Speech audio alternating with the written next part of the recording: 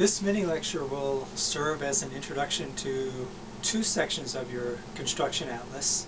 That'll be uh, hip and knee 1 and hip and knee 2. We'll be adding muscles that are representative of the different movements that are possible at the hip. Um, we'll look at the pectineus uh, for flexion of the hip. Also, the, the um, longest part of the quadriceps femoris, the rectus femoris, crosses the hip as a hip flexor. Um, also, the adductor longus is an adductor from abduction to adduction.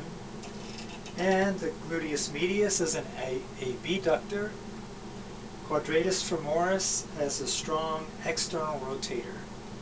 And then a number of muscles that cross both the hip and the knee. The point being that these are muscles that our primary interest lies in understanding how they affect the pelvis in seating and positioning. Especially how the hamstrings, here's the biceps femoris, and one band representing semitendinosus and membranosus, um, how those will affect the pelvis, pushing it into posterior tilt, you see that motion there, if the hip is flexed to 90 and the knee is slightly extended, we get more and more posterior tilt.